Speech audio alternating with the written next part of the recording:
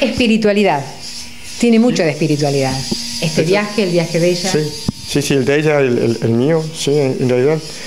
Eh, es una etapa de la vida en que yo creo que estamos en, eh, cronológicamente, se podría decir la etapa final, podría decirse, ¿no? Así, faltan eh, no sé cuántos años, dejemos que, que, que, el tiempo y el gran arquitecto del universo lo decida, ¿no es cierto? Pero em, en el momento en que has cumplido con ciertas etapas, ¿no es cierto? Con ciertas misiones en que la sociedad... Formalidades. educar a los hijos, y, ah, en fin, tú, tú sabes. todos saben, más bien dicho, porque me estoy dirigiendo a, más gente, ¿no? Pero estamos conversando los dos y eso suena bonito. Entonces, eh, ¿qué viene ahora?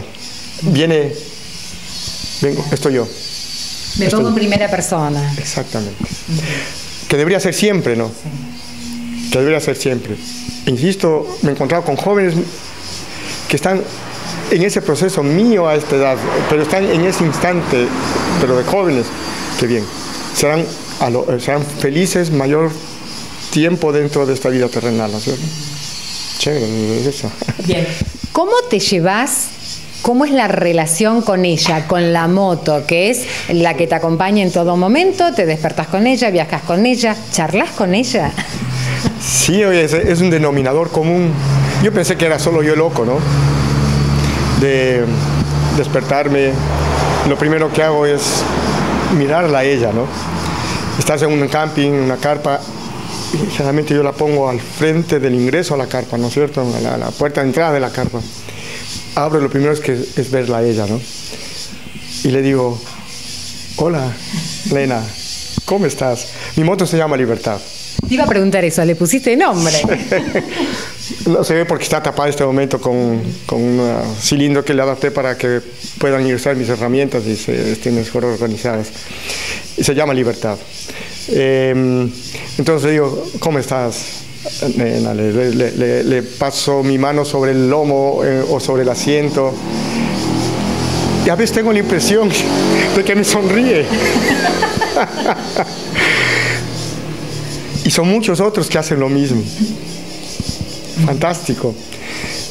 Eh, y se va configurando esa relación entre el hombre y la máquina. Me imagino que el gaucho sentirá lo mismo con su con su, con su caballo, con su... Acá ha sido el sitio de la capital del jinete. Capital de la jineteada, tal cual. Mira tú, esa es la esencia de, lo argentino, está acá. Es así, ¿no? Así, tal cual. Mira vos, también voy aprendiendo eso. Ellos entenderán también, ¿no es cierto? Que es esa relación con el, ser animado, vivo o, o una máquina que te permite que es el canal que, el que te ayuda a obtener esto que estamos diciendo. Es como una proyección tuya. Sí, sí, sí, tú lo has dicho. Es eso. Es eso, vas eh, eh, encontrando, dándome las respuestas que yo necesito. Sí, es una proyección mía. Y que de ella dependo tanto y no quedar en medio de, del desierto eh, peruano, ¿no es cierto?, en medio de la carretera o en medio de las pampas argentinas, ¿no es cierto?, en la que durante horas no pasa un solo vehículo. Te quedaste dañado ahí y si no tienes las suficientes habilidades o los suficientes repuestos, te quedarás ahí hasta que alguien, algún salvador te ayude, ¿no?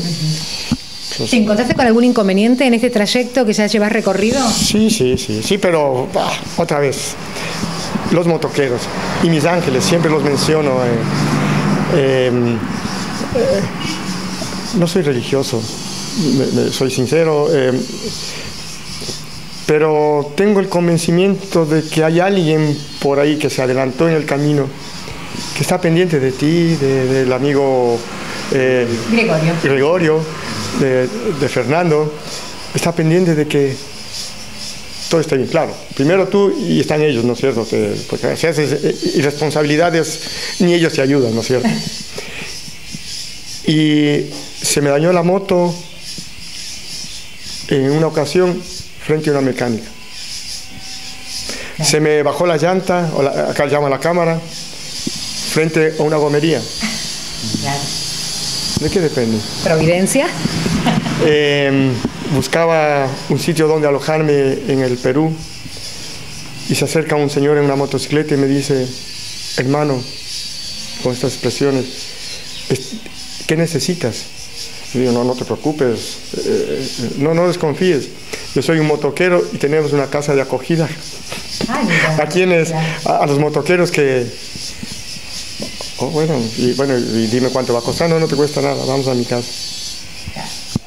Entonces, eh, yo digo, hay alguien que me está acompañando. No tienes idea tantas de estas anécdotas que podría yo repetir en el sentido de que en el momento justo alguien llegó. Fernando, para nosotros es un placer haber charlado con vos, de, que nos cuentes tus vivencias, eh, decirte bienvenido a la ciudad de las varillas, yo creo que la bienvenida ya está eh, puesta de manifiesto. Y que disfrutes tu estadía y que te lleves los mejores recuerdos. Ah, sí, esto es un gran recuerdo, conocerte conocer a Gregorio. No se siente buena vibra, se siente, ¿no? Se siente. Voy enriquecido con tu sonrisa, con tu mirada tan especial.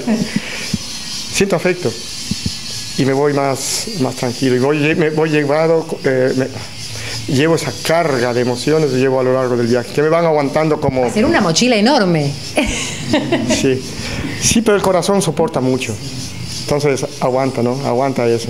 Ligero de equipaje como, como dice una canción de Nino Bravo. Voy ligero de equipaje para tan largo viaje. Exacto. que en la vida hay que usar un equipaje ligero. Sí. Cabral te dice mucho. Sí. De pronto acá no le escuchan mucho, a veces los, eh, nadie es profeta en su tierra, ¿no? Pero Cabral eh, me ha dicho mucho, ¿no? Facundo Cabral.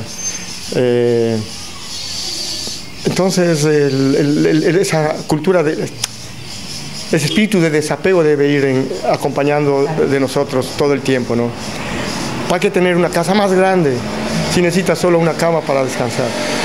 ¿Para qué necesitas 20 coches si necesitas solo tus piernas para caminar? No sé, o sea, nos vamos acumulando de cosas. De pronto es un sistema... Eh, no, no quiero cuestionar eso, no, no, no, es, no, es, tema de entrar en política ni cosa por el estilo. Pero es una... nos, van desarrollando ese espíritu de acumulación que nos va haciendo cada vez más infelices a pegarnos a, cosas que no necesitamos. ¿no? Y lo que necesitamos es solo un abrazo, una sonrisa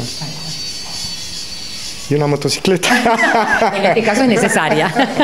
Eh, Fernando, muchísimas gracias y una excelente filosofía de vida. Un privilegio, el, un honor que me haces, un honor que me haces, me, me han hecho las varillas y un honor que el gran arquitecto del universo ha hecho con esta humilde persona para llegar a un sitio tan especial.